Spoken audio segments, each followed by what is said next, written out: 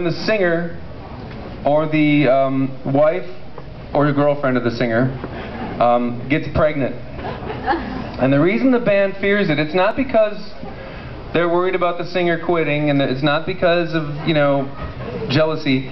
It's because they know what's coming down the pike. It's a song about the baby. and this song about the baby has two salient features. One, very likely to be extremely cheesy, so thus troubling to the band. Two, it's the most important song the singer's ever written. he, she feels that it expresses more about his, her place in the universe than any other song has ever expressed. And so it's, it's a tough one for the band members because who wants to be the asshole to say that the song about Junior sucks?